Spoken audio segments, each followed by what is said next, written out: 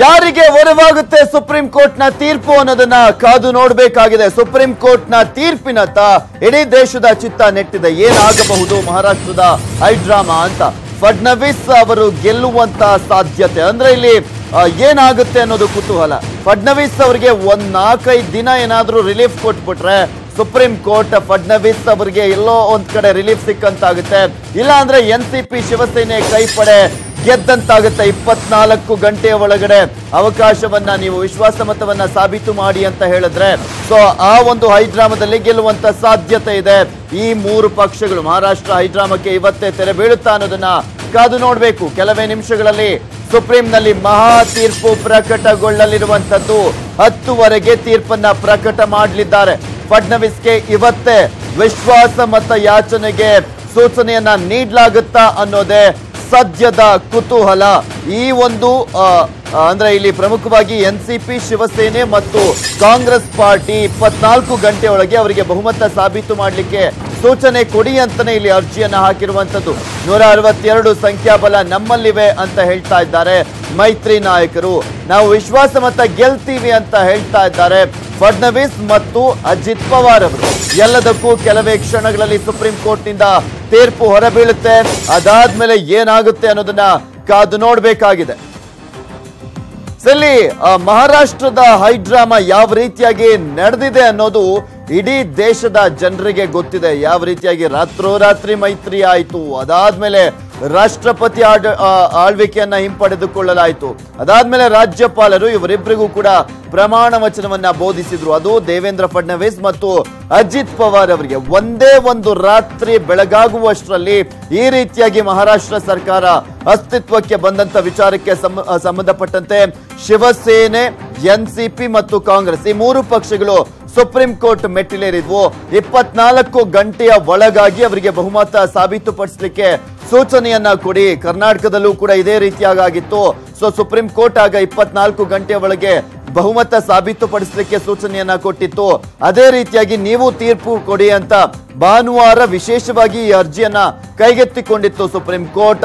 ಆದ್ರೆ ಎರಡು ದಿನ ಆಗಿದೆ. ಎರಡು ದಿನಗಳ ಕಾಲ ದೇವೇಂದ್ರ ಫಡ್ನವೀಸ್ ಅವರಿಗೆ ಸ್ವಲ್ಪ ರಿಲ್ಯಾಕ್ಸ್ ಸಿಕ್ಕಂತಾಗಿತ್ತು. ಅವರು ಇನ್ನು ಶಾಸಕರನ್ನ ತನ್ನ ಸಂಖ್ಯಾಬಲದಲ್ಲಿ ಸೇರಿಸಿಕೊಳ್ಳೋದಕ್ಕೆ. ಸೊ ಈಗ ಅದಕ್ಕೆ ಬ್ರೇಕ್ ಬೀಳುತ್ತಾ ಅನ್ನೋದನ್ನ ಕಾದು ನೋಡ್ಬೇಕಾಗಿದೆ.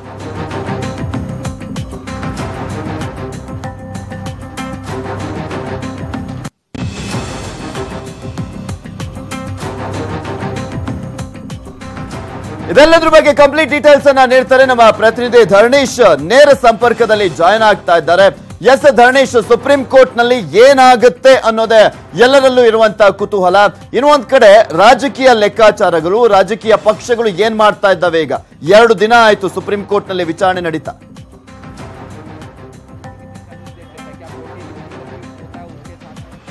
ಪೃಥ್ವಿರಾಜ್, ಇವತ್ತು ಸುಪ್ರೀಂ ಕೋರ್ಟ್ ಕೊಡುವಂತಹ ತೀರ್ಪು ಮಹಾರಾಷ್ಟ್ರ ರಾಜಕಾರಣದ ಮುಂದೆ ಏನೆಲ್ಲ ಆಗಬಹುದು ಅವೆಲ್ಲವನ್ನ ಕೂಡ ನಿರ್ಧರಿಸುತ್ತೆ.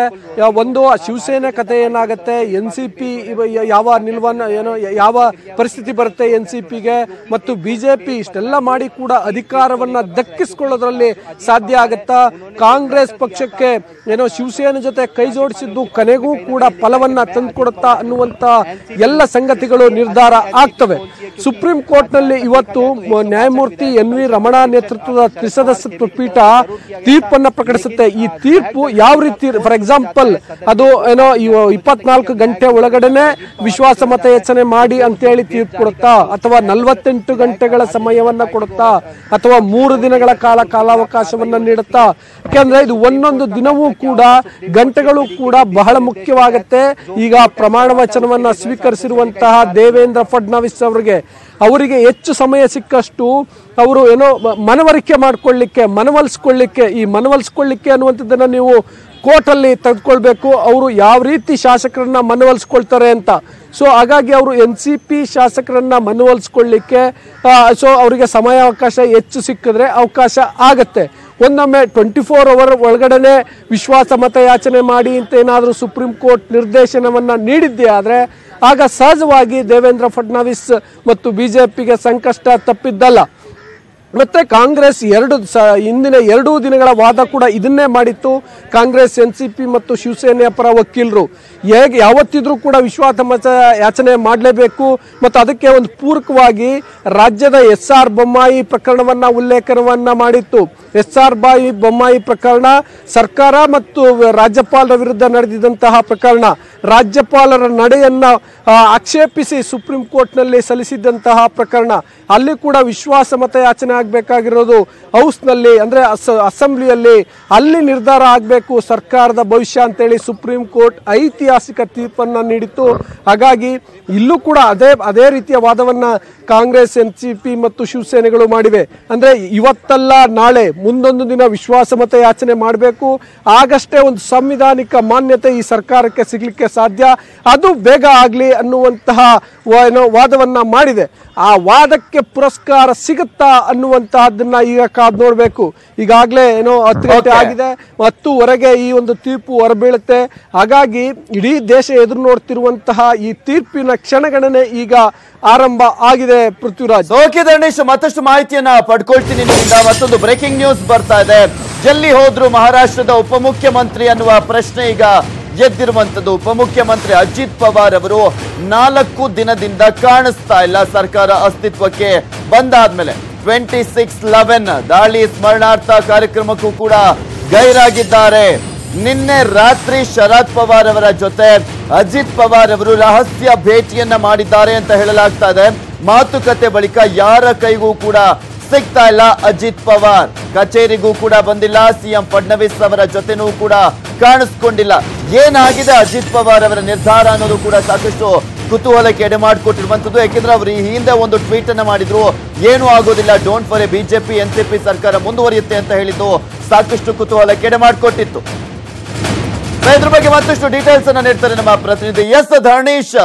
ಸರ್ಕಾರ ಅಸ್ತಿತ್ವಕ್ಕೆ ಬಂದಾದ್ಮೇಲೆ ಅಜಿತ್ ಪವಾರ್ ಅವರು ಎಲ್ಲೂ ಕಾಣಿಸ್ತಾ ಇಲ್ಲ ಅನ್ನುವ ಮಾಹಿತಿ. ಶರದ್ ಪವಾರ್ ಅನ್ನ ಭೇಟಿ ಆದ್ಮೇಲಂತೂ ನಾಪತ್ತೆ ಆಗಿದ್ದಾರೆ ಅನ್ನೋದು. ಎಲ್ಲಿ ಹೋದ್ರು ಅನ್ನೋದು.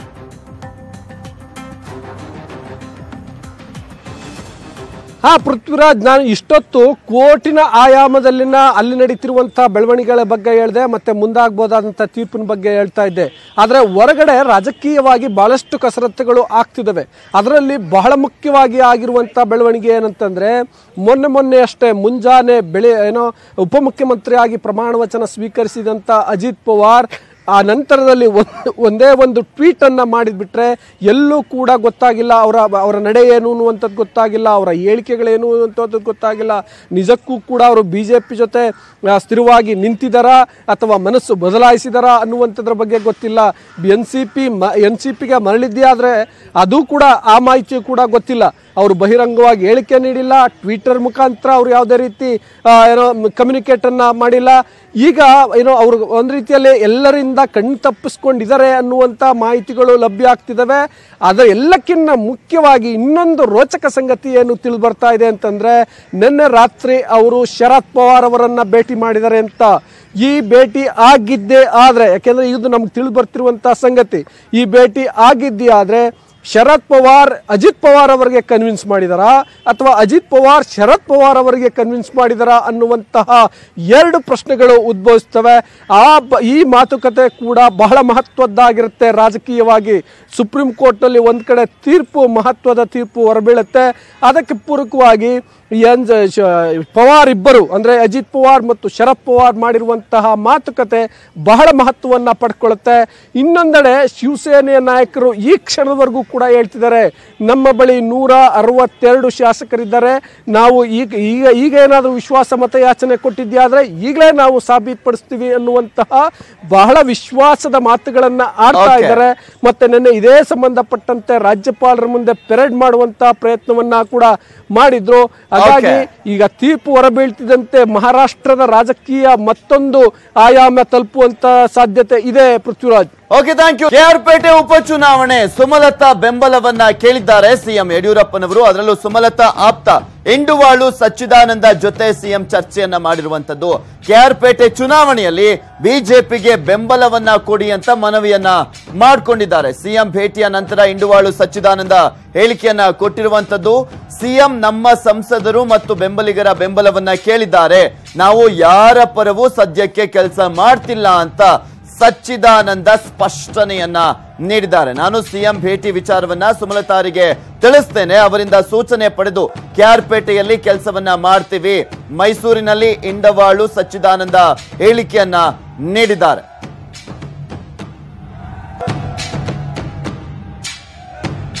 ಸಲಿ ಯಡಿಯೂರಪ್ಪನವರು ಕೆಆರ್ಪೇಟೆಯಲ್ಲಿ ಬಿಜೆಪಿ ಅಭ್ಯರ್ಥಿ ನಾರಾಯಣ ಗೌಡ ಅವರನ್ನ ಗೆಲ್ಸೋದ ನಿಟ್ಟಿನಲ್ಲಿ ಸಾಕಷ್ಟು ಹರಸಾಹಸವನ್ನ ಪಡ್ತಾ ಇರುವಂತದ್ದು ಅಲ್ಲಿ ಪ್ರಚಾರವನ್ನ ಕೂಡ ಮಾಡಿದ್ರು. ಇನ್ನು ಸುಮಲತಾ ಅವರ ಬೆಂಬಲ ಬಿಜೆಪಿ ಪಕ್ಷಕ್ಕೆ ಬೇಕು. ಅವರನ್ನ ಬೆಂಬಲಿಸಿದೋಕೆ ಹೇಳಿ ಬಿಜೆಪಿ ಪಕ್ಷಕ್ಕೆ ಕೆಆರ್ಪೇಟೆ ಕ್ಷೇತ್ರದಲ್ಲಿ ಅಂತ ಅವರ, ಅಂದ್ರೆ ಸುಮಲತಾ ಅವರ ಆಪ್ತರಾಗಿರುವಂತ ಇಂಡುವಾಳು ಸಚ್ಚಿದಾನಂದ ಅವರ ಬಳಿ ಹೇಳಿದ್ದಾರಂತೆ. ಯಡಿಯೂರಪ್ಪನವರು ಈ ಒಂದು ವಿಚಾರವನ್ನ ಇಂಡುವಾಳು ಸಚ್ಚಿದಾನಂದ ಅವರೇ ಸ್ಪಷ್ಟಪಡಿಸಿದ್ದಾರೆ. ಯಡಿಯೂರಪ್ಪನವರು ಈ ರೀತಿಯಾಗಿ ಕೇಳಿದ್ದಾರೆ, ನಾನು ಈ ಒಂದು ವಿಚಾರಕ್ಕೆ ಸಂಬಂಧಪಟ್ಟಂತೆ ಸುಮಲತಾ ಅವರ ಬಳಿ ಚರ್ಚೆಯನ್ನ ಮಾಡ್ತೀನಿ ಅಂತ ತಿಳಿಸಿದ್ದಾರೆ. ಅಲ್ಲ, ಸಿ ಎಂ ಅವ್ರು ಕರೆಸಿದ್ರು, ಅದೇ ಕೆ ಆರ್ ಪೇಟೆ ಚುನಾವಣೆಯಲ್ಲಿ ಮೇಡಮ್ ಅವ್ರ ತೀರ್ಮಾನ ಏನು, ನೀವೆಲ್ಲ ಸಪೋರ್ಟ್ ಮಾಡಬೇಕು. ಬಿ ಜೆ ಪಿ ಸುಮಲತಾ ಮೇಡಮ್ಗೆ ಅಭ್ಯರ್ಥಿ ಆಗ್ತೇ ಎಲ್ಲ ಥರದಲ್ಲೂ ಬೆಂಬಲ ಕೊಟ್ಟಿದ್ರು. ಮೋದಿಯಜಿಯವರು ಬಂದು ಚುನಾವಣಾ ಪ್ರಚಾರ ಮಾಡಿದರು, ಸ್ವತಃ ನಾನು ಬಂದು ಪ್ರಚಾರ ಮಾಡಿದ್ದೆ ಅಂತ ಹೇಳಿದರು. ಈ ವಿಚಾರವನ್ನು ಮೇಡಮ್ ಗಮನಕ್ಕೆ ತರ್ತೀನಿ. ಮತ್ತು ಅವ್ರ ತೀರ್ಮಾನ ಏನು, ಎಲ್ಲ ಕೂತು ಒಂದು ಒಳ್ಳೆ ತೀರ್ಮಾನಕ್ಕೆ ಬರ್ತೀವಿ ಸರ್ ಅಂತ ಹೇಳಿದ್ದೀವಿ. ಅಂತಿಮವಾಗಿ ಏನೇ ತೀರ್ಮಾನ ಮಾಡಿದ್ರು ಮೇಡಮ್ ಮಾಡ್ತೀವಿ ಅಲ್ಲ, ಸಿ ಎಂ ಅವ್ರು ಕರೆಸಿದ್ರು, ಅದೇ ಕೆ ಆರ್ ಪೇಟೆ ಚುನಾವಣೆಯಲ್ಲಿ ಮೇಡಮ್ ಅವ್ರ ತೀರ್ಮಾನ ಏನು, ನೀವೆಲ್ಲ ಸಪೋರ್ಟ್ ಮಾಡಬೇಕು. ಬಿ ಜೆ ಪಿ ಸುಮಲತಾ ಮೇಡಮ್ಗೆ ಅಭ್ಯರ್ಥಿ ಆಗ್ತೇ ಎಲ್ಲ ಥರದಲ್ಲೂ ಬೆಂಬಲ ಕೊಟ್ಟಿದ್ರು. ಮೋದಿಯಜಿಯವರು ಬಂದು ಚುನಾವಣಾ ಪ್ರಚಾರ ಮಾಡಿದರು, ಸ್ವತಃ ನಾನು ಬಂದು ಪ್ರಚಾರ ಮಾಡಿದ್ದೆ ಅಂತ ಹೇಳಿದರು. ಈ ವಿಚಾರವನ್ನು ಮೇಡಮ್ ಗಮನಕ್ಕೆ ತರ್ತೀನಿ.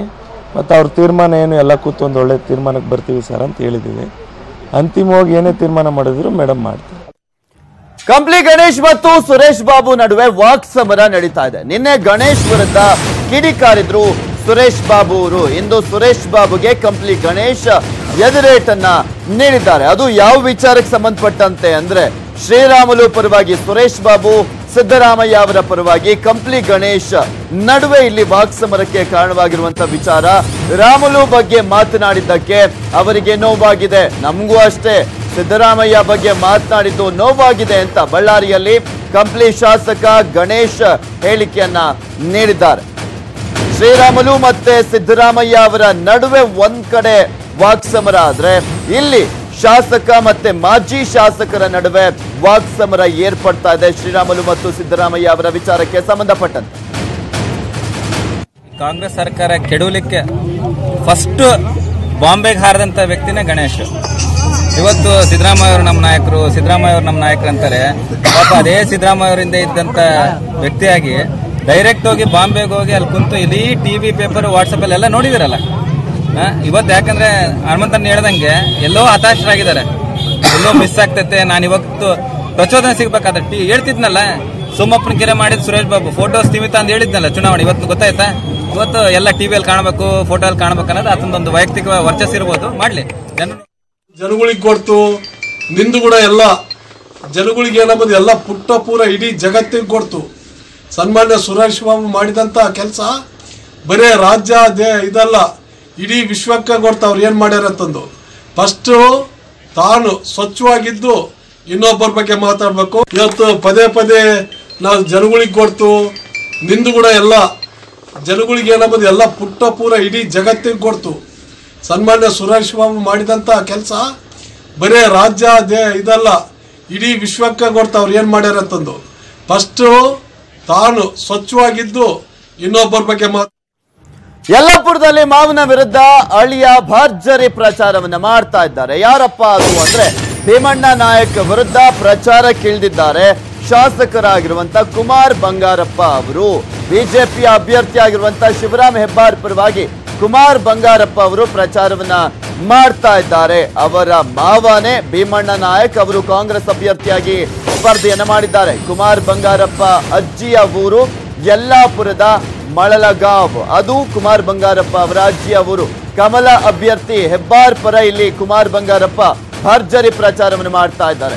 ಕಾಂಗ್ರೆಸ್ ಮತವನ್ನ ಕಸಿಯೋದು ಸಾಧ್ಯವಿಲ್ಲ ಅಂತ ಇನ್ನು ಒಂದ್ ಕಡೆ ಭೀಮಣ್ಣ ನಾಯಕ್ ಇದೇ ಸಂದರ್ಭದಲ್ಲಿ ತಮ್ಮ ಆಕ್ರೋಶವನ್ನ ಕೂಡ ಹೊರ ಹಾಕಿದ್ದಾರೆ ಮನಸ್ಸಿನಿಂದ ಕರ್ನಾಟಕದ ಕಲ್ಯಾಣವನ್ನ ಮಾಡಬೇಕು. ಶಾಸಕ ಸ್ಥಾನಕ್ಕೆ ಅದರಲ್ಲೂ ಒಬ್ಬರಲ್ಲ ಏನೋ ಒಬ್ಬರಿಂದನೇ ಇದು ಬದಲಾವಣೆ ಆಗುತ್ತೆ ಅನ್ನೋದಾದ್ರೆ ಬೇರೆ. ಹದಿನೇಳು ಜನನು ಸೇರಿ ಒಮ್ಮನಸ್ಸಿನಿಂದ ಕರ್ನಾಟಕದ ಕಲ್ಯಾಣವನ್ನ ಮಾಡಬೇಕು, ಕರ್ನಾಟಕದ ಅಭಿವೃದ್ಧಿ ಆಗಬೇಕು ಮತ್ತೊಂದು ಪಕ್ಷವನ್ನ ತೆಗೆದುಬಿಟ್ಟು ಮತ್ತೊಂದು ಪಕ್ಷವನ್ನ ತರಬೇಕು ಅನ್ನೋದಾದ್ರೆ ಒಂದೆಲ್ಲ ಮುಂದಾಲೋಚನೆ ಇಟ್ಕೊಂಡು, ಒಂದು ಒಳ್ಳೆಯ ಉದ್ದೇಶವನ್ನು ಇಟ್ಕೊಂಡು ಮಾಡಿರ್ತಕ್ಕಂಥ ಕೃತ್ಯ. ಮತ್ತಷ್ಟು ಅಪ್ಡೇಟ್ಸ್ ಅನ್ನ ನೀಡ್ತೀನಿ, ಆದ್ರೆ ಅದಕ್ಕೂ ಮುಂಚೆ ಒಂದು ಸ್ಮಾಲ್ ಬ್ರೇಕ್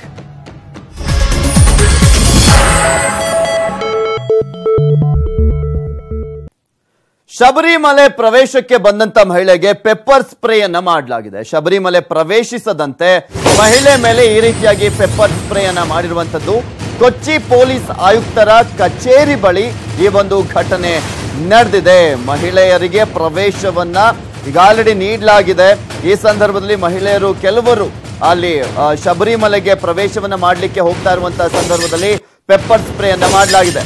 ತೃಪ್ತಿ ದೇಸಾಯಿ ಟೀಮ್ ಜೊತೆ ತೆರಳೋದಕ್ಕೆ ಬಂದಿದ್ದಂತ ಮಹಿಳೆ ಶಬರಿಮಲೆಗೆ ತೆರಳೋದಕ್ಕೆ ಭದ್ರತೆಯನ್ನ ಕೂರಲು ಬಂದಿದ್ರು. ಈ ಭಕ್ತೆ ಶಬರಿಮಲೆ ಪ್ರವೇಶ ಮಾಡದಂತೆ ಮಹಿಳೆ ಮೇಲೆ ಪೆಪ್ಪರ್ ಸ್ಪ್ರೇಯನ್ನ ಮಾಡಲಾಗಿದೆ. ನಿಮಗೆ ತೋರಿಸ್ತಾ ಇದೀವಿ ದೃಶ್ಯಾವಳಿಯಲ್ಲಿ ಯಾವ ರೀತಿಯಾಗಿ ಪೆಪ್ಪರ್ ಸ್ಪ್ರೇಯನ್ನ ಮಾಡಲಾಗಿದೆ ಅಂತ ನೀವು ಕೂಡ ನೋಡ್ತಾ ಇದ್ದೀರಾ. ಅಲ್ಲಿ ದೂರನ್ನ ಕೊಡ್ಲಿಕ್ಕೆ, ನಮಗೆ ಸ್ವಲ್ಪ ಭದ್ರತೆ ಬೇಕು ಅಂತ ದೂರನ್ನ ಕೊಡ್ಲಿಕ್ಕೆ ಹೋದಂತ ಸಂದರ್ಭದಲ್ಲಿ ಈ ರೀತಿಯಾಗಿ ಪೆಪ್ಪರ್ ಸ್ಪ್ರೇ ಮಾಡಲಾಗಿದೆ.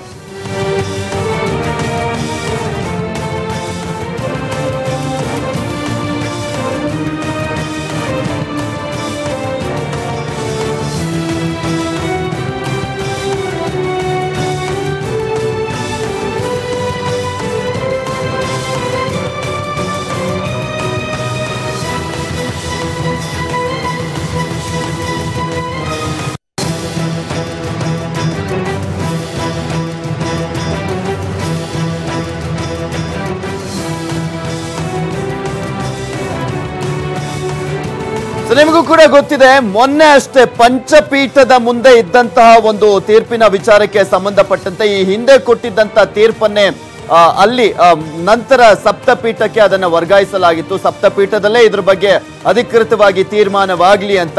ಆ ಅಧಿಕೃತವಾಗಿ ತೀರ್ಮಾನ ಆಗ್ಲಿ ಅಂದ್ರೆ ಈ ಹಿಂದೆ ಕೊಟ್ಟಿದ್ದಂತ ತೀರ್ಪೇ ಜಾರಿಯಲ್ಲಿತ್ತು.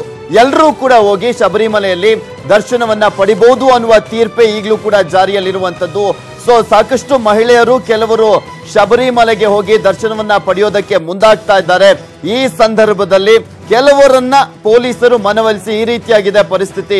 ಹೋದ್ರೆ ನಿಮ್ಗೆ ಸ್ವಲ್ಪ ಕಷ್ಟ ಅನ್ನೋದನ್ನ ಕೂಡ ಹೇಳ್ತಾ ಇದ್ರು. ಯಾಕಂದ್ರೆ ಕರ್ನಾಟಕದ ಒಂದು ಗುಂಪು ಹೋಗೋದಕ್ಕೆ ಪ್ರಯತ್ನ ಪಟ್ಟಂತ ಸಂದರ್ಭದಲ್ಲಿ ಪೊಲೀಸರು ಅವರನ್ನ ಮನವೊಲಿಸಿದ್ರು. ಈಗ ತೃಪ್ತಿ ದೇಸಾಯಿ ಅವರ ಟೀಮ್ ಹೊರಡೋದಕ್ಕೆ ರೆಡಿ ಆಗಿತ್ತು. ಮತ್ತೊಬ್ರು ಅವರ ಟೀಮ್ಗೆ ಜಾಯಿನ್ ಆಗಿ ಮತ್ತೊಂದ್ ಕಡೆ ಭದ್ರತೆಯನ್ನ ಕೋರೋದಕ್ಕೆ ಅಲ್ಲಿ ಕೊಚ್ಚಿ ಪೊಲೀಸ್ ಆಯುಕ್ತರ ಬಳಿ ಹೋಗ್ತಾ ಇದ್ದಂತ ಸಂದರ್ಭದಲ್ಲಿ ಪೆಪ್ಪರ್ ಸ್ಪ್ರೇ ಆಗಿದೆ.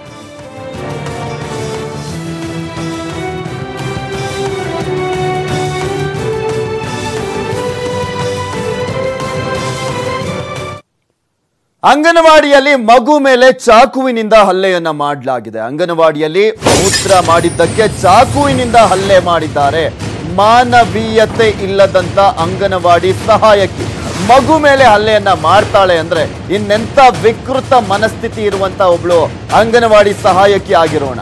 ಅದು ಚಿಕ್ಕಮಗಳೂರು ತಾಲೂಕಿನ ಕೆರೆಮಕ್ಕಿಯ ಅಂಗನವಾಡಿಯಲ್ಲಿ ಒಂದು ಘಟನೆ ನಡೆದಿರುವಂತದ್ದು ಮೂರು ವರ್ಷದ ಮಗುವಿಗೆ ಚಾಕುವಿನಿಂದ ಹೊಡೆದಿದ್ದಾಳೆ. ಸಹಾಯಕಿ ಗಾಯಾಳು ಮಗು ಚಿಕ್ಕಮಗಳೂರು ಜಿಲ್ಲಾಸ್ಪತ್ರೆಗೆ ದಾಖಲು ಮಾಡಲಾಗಿದೆ. ಮಗುವಿನ ತಲೆಗೆ ಮೂರು ಹೊಲಿಗೆಯನ್ನ ಹಾಕಿ ಚಿಕಿತ್ಸೆಯನ್ನ ನೀಡಲಾಗಿರುವಂತದ್ದು ಶಿಕ್ಷಕಿ ಮಾಲಾ, ಸಹಾಯಕಿ ಮಂಜುಳಾ ವಿರುದ್ಧ ದೂರು ದಾಖಲಾಗಿದೆ. ಮಲ್ಲಂದೂರು ಪೊಲೀಸ್ ಠಾಣೆಯಲ್ಲಿ ಪ್ರಕರಣ ದಾಖಲಾಗಿರುವಂತದ್ದು ಇವ್ರಿಗೆ ಮಾಡೋದಕ್ಕೆ ಆಗೋದಿಲ್ಲ ಆ ಕೆಲಸ ಅಂದ್ರೆ ಮುಚ್ಕೊಂಡು ಕೆಲಸ ಬಿಟ್ಟು ಹೋಗ್ತಾ ಇರಬೇಕು. ಅದನ್ನ ಬಿಟ್ಟು ಈ ಪಾಪ ಈ ಚಿಕ್ಕ ಮಕ್ಕಳ ಮೇಲೆ ಚಾಕುವಿನಿಂದ ಹಲ್ಲೆ ಮಾಡ್ತಾರೆ ಅಂದ್ರೆ ಇನ್ನೆಂಥ ವಿಕೃತ ಮನಸ್ಥಿತಿ ಇರೋಣ ಅವರಿಗೆ.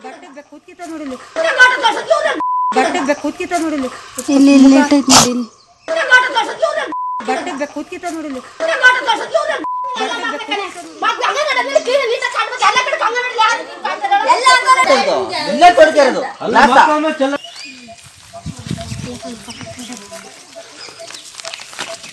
ಸೊ ನಿಮಗೆ ತೋರಿಸ್ತಾ ಇದೀವಿ ಅಂಗನವಾಡಿಯಲ್ಲಿ ಆಗಿರುವಂತ ಘಟನೆ ಇದು. ಪಾಪ ಚಿಕ್ಕ ಮಗು ಅದಕ್ಕೆ ಏನ್ ಗೊತ್ತಾಗುತ್ತೆ ಅನ್ಬಿಟ್ಟು ಅದನ್ನ ಕಲ್ಸ್ಕೊಡ್ಲಿ ಅಂತಾನೆ ಈ ಅಂಗನವಾಡಿಗೆ ಕಲ್ಸ್ಕೊಡೋದು ಆದ್ರೆ ಅಲ್ಲಿರುವಂತ ಅಂಗನವಾಡಿಯ ಸಹಾಯಕಿ ಮತ್ತೆ ಶಿಕ್ಷಕಿ ಮಾಡಿದ್ದಾರೆ. ಯಾವ ರೀತಿಯಾದಂತ ಘಟನೆ ಅನ್ನೋದನ್ನ ನೀವು ಕೂಡ ನೋಡ್ತಾ ಇದ್ದೀರಾ. ಚಾಕುವಿನಿಂದ ಹಲ್ಲೆಯನ್ನ ಮಾಡಿದ್ದಾರಂತೆ. ನಾಚಿಕೆ, ಮಾನ, ಮರ್ಯಾದೆ, ಮಾನವೀಯತೆ ಇಲ್ಲದಂತ ಸಹಾಯಕಿ ಮತ್ತೆ ಶಿಕ್ಷಕಿ ಮೇಲೂ ಕೂಡ ಆರೋಪ ಕೇಳಿ ಬಂದಿದೆ.